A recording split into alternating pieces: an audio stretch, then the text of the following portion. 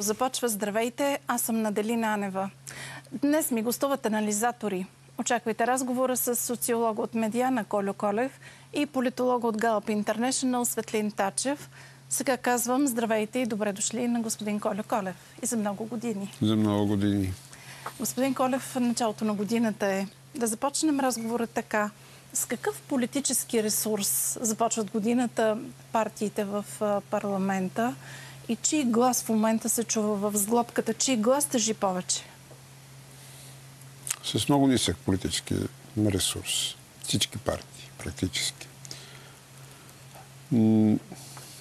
Тъй като това показват и изследванията, не само, не само на Медиана, но и на а, колеги от други агенции.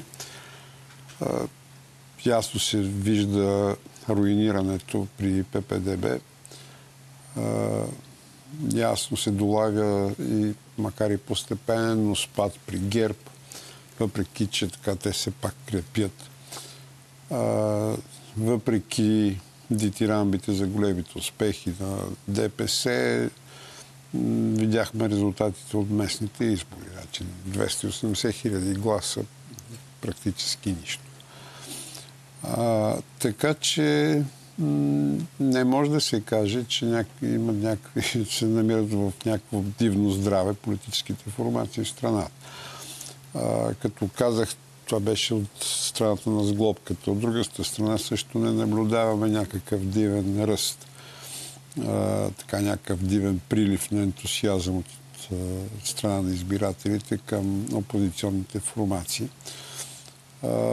Да, има леко покачване, да кажем, при ИТА, които са като че намериха верния си тон за, за тяхната политическа формация. Очевидно тях не ги бива много. Те са много силно критични към Да, да, очевидно тях не ги бива като управляващи, но ги бива като, като, опозиция. А, като опозиция, като критична, силно остро критична опозиция. А, възраждане горе-долу си седи на същите стойности. При БСП продължава перманентната криза. Те са на пето място сред политическите формации, така че никоя, нито една партия към, от така поне представените не се намира в някакво дивно политическо здраве. То причината е в драстичното разминаване между желанията, очакванията на хората и това, което им се сервира от така наречената политическа класа, като според фактори. Нали? като се започне с еврозоната, примерно, където нали, основните формации казват, е такава еврозона ще ви забъркаме, че пръстите ще си оближите. На хората казват, чай, чай, не щем бе, чакай, не, не му е сега времето. Казват огромното мнозинство от хората. А, нали, отдел, отделно са заигравките около 3 март, националния празник, без, безмислената до голяма степен битка с президента, как, ако щете, във връзка с Конституцията. Едно да, се обявява като цел на промените в Конституцията, друго виждаме като резултат на финала. А, так... Но като се замислим, всъщност сглобката успя да приеме промени в Конституцията, беше си го поставила като задача. А, успя да приеме бюджет до края на годината. Някакъв частичен успех имаме за Шенген. Успя да остане цялостна. Това не, не е ли добре? Не се ли приема добре? не, определено, определено не. Поради простата причина, че самата сглобка тя не удовлетворява огромната маса от избирателите. А, примерно Герб участваше в сглобката. Голяма част от неговите избиратели, ако мислите, че много харесват сглобката, дълбоко се лъжат от страна на ППДБ положението е горе-долу, горе-долу същото. Може би само от страна на Делян Пеевски нещата изглеждат така категорично позитивни, тъй като успя майсовски да се вклини в а, властта де-факто. така че а, дали е успех това, че те успяха да, да, да, не, се, да не се сритат, да не се скарат така и да продължат по някакъв начин да функционират. А, може би от тяхна гледна точка е успех. От гледна точка на обществото обаче нещата не изглеждат точно по този начин. Примерно да кажем, мога да ви цитирам данни. 50, 51% казват, че, че тази сглобка е вредна за страната, а 18% казват, че тя е полезна. Това е съотношението, горе-долу съотношението на силите. Да, без съмнение нали, е добре, че има бюджет. От друга страна пък има много сериозни съмнения по въпроса, по въпроса за, за самия бюджет. Нали, така, без съмнение е добре, че е направена някаква стъпка по посока на Шенген. Но така остават много въпросителни какво не се доизговаря в крайна сметка в същия този Шенген. Каква е цената? А, нали, и нали, от едната страна от българското правителство казват, няма никаква цена, всичко е ток и жица. От австрийското външно министерство обаче някакси идват някакви други, друга информация, където пише, че са поставени такива такива условия, които българската и румънската страна са приели. И сега ние на кой вярваме? Нали, на австрийското външно министерство, на австрийските власти, на румънските също така или на българските на фона на общото недоволство, недоверие въобще към политическия елит, хората много по-често са склонни да, да приемат не позицията на декларирана от българското правителство, а по-скоро това, което им се подава по странични канали. Темата за Шенген предполагам, че ще бъде една от основните теми при откриването на сесията на парламента следващата седмица. Но а, в тази година предстоят две важни неща да се случат. Едното е ротацията, второто са европейските избори. Да поговорим сега първо за ротацията. Днес имаше задочен спор. Росен Желясков, шефа на парламента, който е на посещение в Индия, каза, че ако се направи ротацията, ще има избран кабинет с първия мандат, т.е. мандата на ГЕРБ. След това Христо Иванов веднага побърза да каже, че това не е договорено, ще има преговори и този, който го обявява за вече готово, не си е направил добре сметката. Виждате ли тук вече зародиш на един конфликт, който може да прерасне в криза? Не може да прерасне в криза, поради проста причина, че и трите страни на сглобката не чувстват сили, за да могат да предизвикат криза и да извлекат дивиденти от това. както казах, ППДБ се намират в така сериозна електорална криза. Избирателите така все повече и повече се отдръпват. Видно, особено видно на последните местни избори. 273 хиляди гласа. Това е падение. Нали? Ако бяха загубили София, ще да бъде секушително. А, а пък, а, що се отнася до ГЕРБ? ГЕРБ също не са в състояние в момента да вземат властта и да имат стабилен партньор, с кой ще играят. Още повече, че, както казах, има голямо вътрешно напрежение в обществото по срещу партиите на сглобката. Да разчитат, че те ще могат да повторят тези резултати на едни предсрочни избори, меко казано, предизвиквайки криза, не е сериозно. При това положение те, разбира се, ще дуят бози, ще така правят някакви стойки, колко сме а, всъщност не сме сглобка, не сме а, нещо единно, ние сме така политически противници, ама сега играем в името на а, било то Конституция, сега вече след като Конституцията мина на а, няколко четения, сега ще бъде вече регулаторните органи, Виж съдебен съвет, Конституционен съд. Така че, а, така че ще имаме по-скоро стойки Стойки за министри не, и за... Така, за демонстрация, на демонстрация на а, дистанцираност, ако щете. А, съвсем случайно сме в този креват. Тук, ако мислиш, че нещо правим, е, дълбоко се лъжеш. Направете прогноза дали след март ще продължат като не коалиция или като коалиция. Ще подпишат някакво споразумение?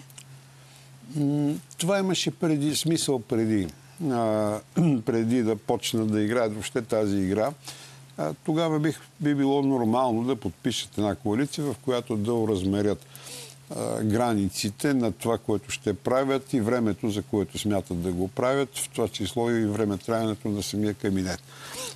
Сега нещата просто стават, вече станаха очевидни.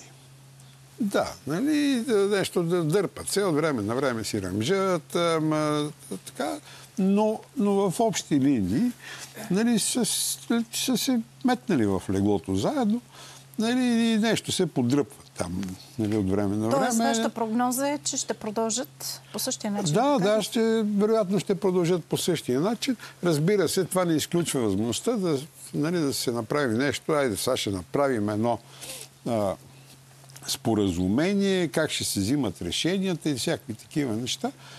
Въпреки, че нещата си остават очевидни. Разбира се, това не изключва, че ще има напрежение по, време на така наречената ротация. Нали, ще се опитват да завладеят отделни властови позиции по един, по един или друг начин. ГЕРБ също така. ДПС, макар и скрито, ще участва в тази игра чрез атаката върху така наречените регулаторни органи. Говоря за Висше съдебен съвет, за Конституционен съд, всички тези неща. Всъщност това е големия разговор, който започва сега януари. Ами, да, да и, това, и това ще бъде, това ще бъде въпро... точката, точката на напрежение. Но, както казах, нито една от политическите формации не би рискувала да предизвика криза, поради проста причина, че се страхуват от обществото. Добре, където недоволството е много силно, е много и те силно, рискуват, и те рискуват а, сериозно да бъдат пометени. Откъде се появи интригата? Кой ще е следващия премиер? Мария Габриел или Бойко Борисов? Преди два дни в Бургас Бойко Борисов каза Габриел ще бъде премиера и ДПС няма да участват в а, това правителство. Откъде дойде тази интрига? А, трудно е да се отговори. А, значи, ние имаме много повече интриги, отколкото имаме някакви реал, реални действия. Значи непрекъснато има интрига. Дали а, Ахмед Доган всъщност е застанал зад Делян Пеевски или всъщност играе контра на Делян Пеевски. Дали а, Атанасът Танасов се бори за Конституционния съд и всякакви такива неща. така че а, това са до голяма степен за игравки, които се пускат в публичното пространство, малко или много да разсейват публиката, колкото, колкото да, така и да я запълват, ако щете, времето, а, докато а, се правят опити за решаване на а, казвам опити, не толкова, че се решават, съществени въпроси на обществото. Допускате ли сценарий, при който наистина се осъществява ротация? Мария Габриел става премьер, но малко след това, месец-два след това, правителството пада по някаква причина и европейските избори са две в едно. Възможен ли е такъв сценарий и защо би бил възможен? Напълно е възможно, ако се разрази, ако се разрази някакъв скандал. А, то тогава, нали, съвсем естествено, така, всеки ще се дърпа и ще каже, скандала не е мой, скандала е на другите. Нали? Де беше губута към ПП, ПКП към ГЕРБ и всякакви такива неща. Примерно да кажем, представете си някакъв голям корупционен скандал. А, при това положение, разбира се, е възможно. А, още повече, че изначално тази изглобка, тя е малко или много противоестествена. Нали, тя не е продукт на, някак, на някакви а, договорености, на някакви коалиционни споразумения. Още повече тя се дълбоко неестествена, където втория отстъпва, първия отстъпва властта на втория, без да участва във властта. Така, не, такова нещо не, не сме виждали. А, нали, цялата власт и ти джиросваш на този, който не спечелил изборите. така че а, Възможно е като цяло, но аз не мисля, че това правителство се крепи толкова на, на, така, на вътрешни фактори и на взаимоотношенията помежду им. До голяма степен той е продукт, аз вече казах, че той е до голяма степен естествено, а, но той е продукт на а, геополитически натиск. На, на това, че света се тресе, И има определени сили, които а, така, искат да прокарат разграничителните линии от едната или от другата страна. България се намира на така един много сериозен дълбок разлом между изтока и запада. Тук се пресичат интересите на Русия, на Съединените щати, на Турция, съвсем естествено. И всичко това в този тресящ се геополитически свят прави България едно доста специфично, доста специфично място. Обект на интереси и именно тези интереси до голяма степен с спойката, която а, така, успява да се закрепи това управление. И накрая, в продължение на това, което казахте, какъв е вашия коментар? Защо Ахмед Доган направи обращение, в което предложи още един съпредседател? Каква е тежестта на Делян Пеевски, единият съпредседател на доктор Джевдет Чакаров, другия предложен съпредседател? И прав ли е да говори за този геополитически а, така, пъзел, който ние трябва да разчетем на време? Това е категорично. Това е категорично. Нали, да, точно, точно това е, нали, аз за това говорих. Ние се намираме точно на тази, този геополитически разлом между изтока, запада, юга. А, и това е огромното предизвикателство пред а, български политически елит, който трябва в тези турбулентни времена, времена на трусове, а, така да успее да прекара кораба на управлението с ми, минимални щети. Не, че няма да има щети. Щети ще има. Но ще бъдат щастливи тези, които ще платят само а, економически, а не много по-тежката цена. За съжаление, а, страхувам се, че българския политически елит в този му вид а, е по-склонен да слушка и да папка, отколкото да мисли с главата си да взима решение, защото тук трябва да се взимат много внимателно тежки решения, много балансирани. Трябва да има много балансирана политическа игра. Човек да бъде господар и на своето да, и на своето не, и да знае какво, кога какво да каже. За съжаление, страхувам се, че българския политически елит не е на това ниво а, така, послушковците са прекалено много а, и това може за пореден път да завърши трагично за България. Благодаря ви. Дано не се сбъднат тези ваши прогнози. Дано, дано, не сте прав. Благодаря ви много за това участие. Останете с нас и след рекламите. Тук идва политологът от Gallup International Светлин Тачев. Продължаваме разговора за ДПС, за Шенген и другите политически